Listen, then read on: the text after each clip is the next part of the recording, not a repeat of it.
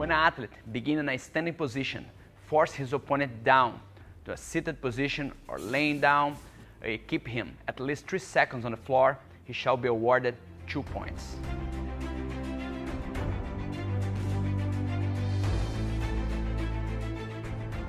When an athlete forces his opponent to the ground to 4-all position or turtle position, he must keep at least one of his opponent's knee on the floor, controlling his hips for at least 3 seconds, and then the referee will award 2 points for the takedown.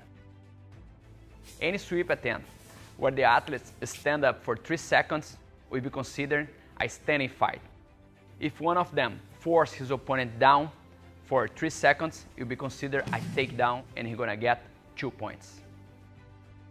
In a single or double leg takedown, where the opponent lands seated and successfully apply a counter takedown, only the athlete executing the counter takedown shall be awarded the score.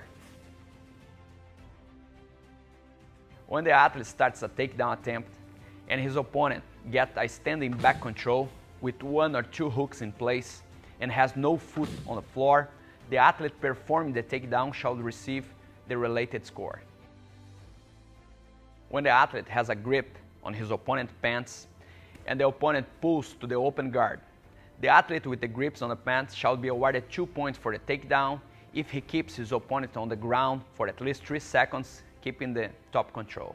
If the athlete has a grip on the opponent's pants and the opponent pulls to close guard and remains suspended in the air, the athlete must put his opponent back on the ground within 3 seconds and keep the top position control for more 3 seconds to be awarded with 2 points for the takedown.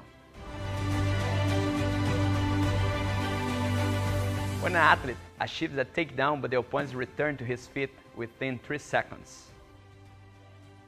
When an athlete forces his opponent to ground on all fours and tries to control his hips but fails to do it, then it will be scored an advantage to him.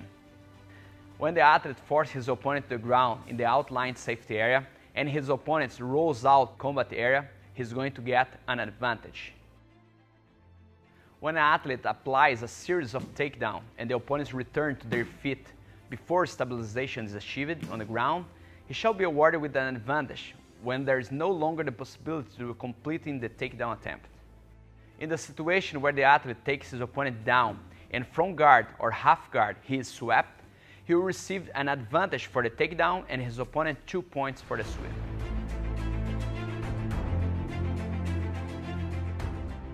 When the athlete applies a takedown and ends on side control, and his opponent turns going to the top control, only the athlete who applied the takedown will be rewarded with an advantage.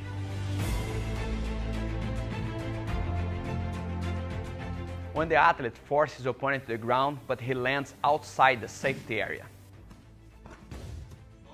When an athlete forces his opponent to the ground on all four position or belly down, and don't try to get the back clinch, stay in front of his opponent, he will not get any score. In case of sprawl defense, when the athlete goes to back clinch, he will not be awarded with any score. Any sweep attempt where the athlete stands up less than 3 seconds and the athlete forces the opponent back to the ground, he will not get any score for this. This movement will be considered a sweep defense. In a back take attempt, where the opponent has no foot on the ground, the standing athlete will not receive two points for takedown. Any movement starting from the knees where the athletes stand and perform a takedown shall not receive any score.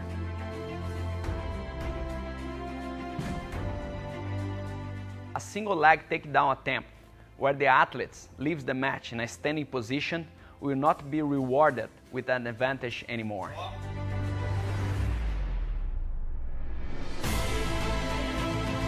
When an athlete in a takedown attempt from his opponent exits the match in a non-technical way in order to avoid being put down, will receive a penalty for this and his opponent two points.